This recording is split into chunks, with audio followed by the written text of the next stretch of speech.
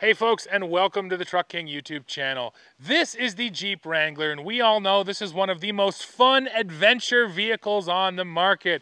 But what truly makes an adventure special? Well, that is sharing it with your family. So that's what we're gonna talk about in this video. I'm gonna install a rear-facing car seat in that back seat, talk about how much space you have, and then just talk about, is the Wrangler really a good family vehicle? Well, let's go find out.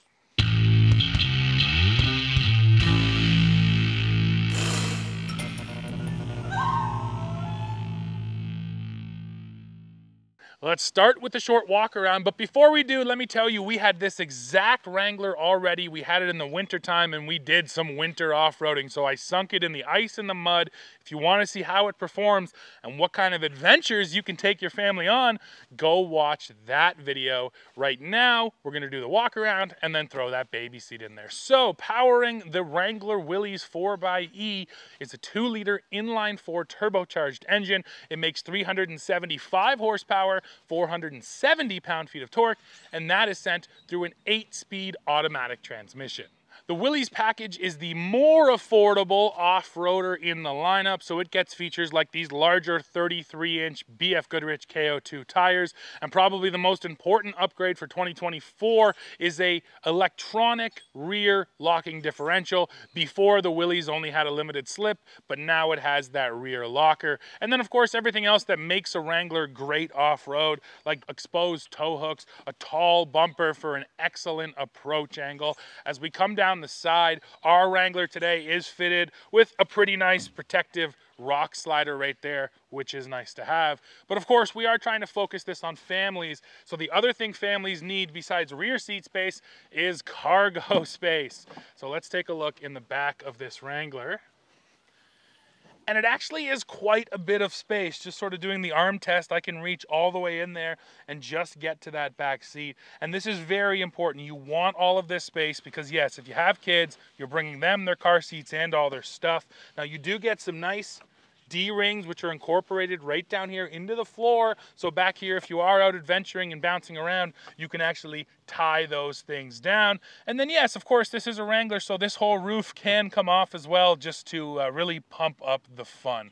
Now, there's one other number I want to throw at you because it's important. It is the payload number, and uh, yeah, it's less than 900 pounds, which frankly isn't great because again, you're bringing your family with all their stuff. That weighs a lot generally. So yeah, not amazing payload here on this 4xE. And that's mostly because you're getting the battery and the hybrid setup. This vehicle ends up being heavier than a standard Wrangler and that takes away from your payload.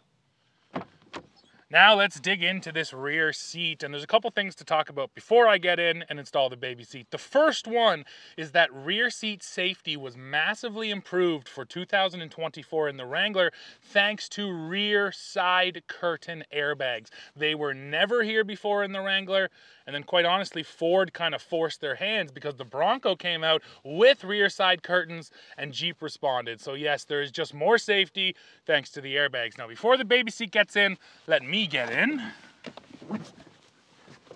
So this is 38.2 inches of rear seat legroom, and it's quite a bit. This seat's maybe pushed a little far forward, but not way up.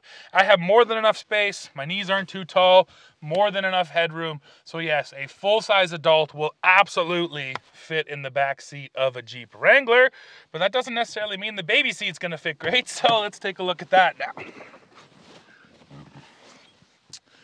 So this is my Graco Forever. And actually I have just enough clearance to that front seat as it is, so I'll just leave it right where it is.